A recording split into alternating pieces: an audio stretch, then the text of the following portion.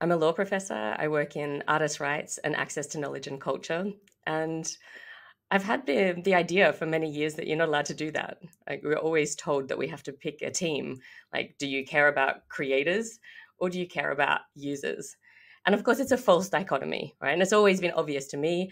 Um, my grandmother, growing up, was a commercial artist. And so I was inculcated in moral rights issues from a very young age. I remember being about four or five years old and sitting under her illustrating table. And it's still like there's still a particular kind of illustrator's inks that can just transport me through space and time. And I'm I'm there under that desk again. And she would just make the most extraordinary drawings. And um, what do you know about art when you're five years old? Like, you know, you write your name on that stuff. Um, and I would always say, Nana, why haven't you written your name on this? And uh, she would say, I'm not allowed to write my name on it. And she never got royalties and she never got recognition. And in my house as well, there really weren't any books, but I was always starving for something to read. So uh, libraries were incredibly important to me, and authors and books um, uh, showed me alternative ways that the world could be and gave me something to aim for. So always very clear to me that yes, you can care about both artists' rights and access to knowledge and culture. I'm a professor at Melbourne Law School where I have spent, gosh, now how long is it? Uh, close to 20 years working on issues around uh, that and technology regulation and thinking about how do we do a better job of achieving copyright's fundamental aims, which are to recognize and reward creative workers and to maximize access to knowledge and culture. And uh, what I want and what my interest is here is to do a better job of achieving both of those things and with less collateral damage than current than current approaches. Ebooks are a really complicated and vexed issue. Um, we've got these. These are choke pointed markets. Um, you can see I've written this book with Cory Doctorow called Choke Point Capitalism, where we show that while competition is supposed to be fundamental to capitalism, you've got these big corporations who have systematic, systematically set out to eliminate it.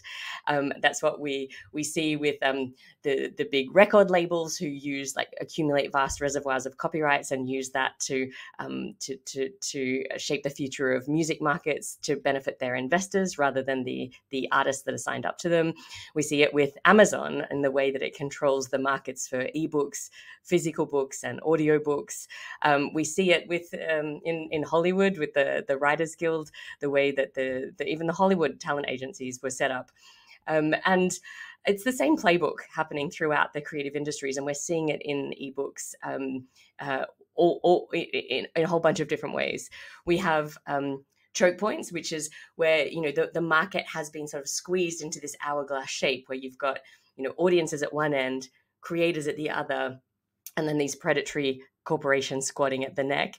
Um, in in the context of ebooks, we've got those those predatory corporations that that control the choke points. They can they can be platforms uh, like Amazon or like the, um, the, the the platforms that aggregate ebooks into libraries. Um, they might be publishers themselves. And we've got these really powerful publishers, a few in the trade book industry, and a couple as well in, in academic and educational publishing.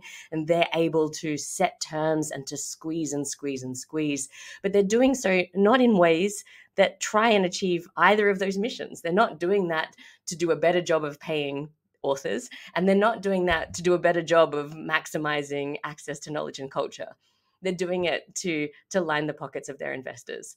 And so um, all the work that i've been doing and we've done lots of research with the e-lending project which is elendingproject.org gathering empirical research around how ebooks are actually being priced and licensed, how long it takes them to be made available to libraries, um, and, and how libraries actually make the decisions about which ebooks to purchase and how licensing and pricing affects them in doing so all of that research and our discussions with publishers.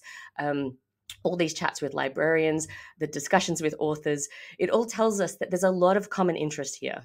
All right. And I think that we shouldn't be thinking about it as creators versus users or even publishers versus libraries, aggregators versus libraries. I think we should be thinking about it in terms of class. Who are the class allies here and what do they want? What are their interests? We've got these big businesses here who are getting in the way and who are uh, shaking down everybody else for far more than what's a fair share of value. and we've got people who care about books and knowledge and making the world better, which overwhelmingly is book people. Um, we've got lots of common interest, a lot of common ground, and it's time to really start working together, forming new coalitions that recognize that common ground and taking back some of that value from those predatory corporations.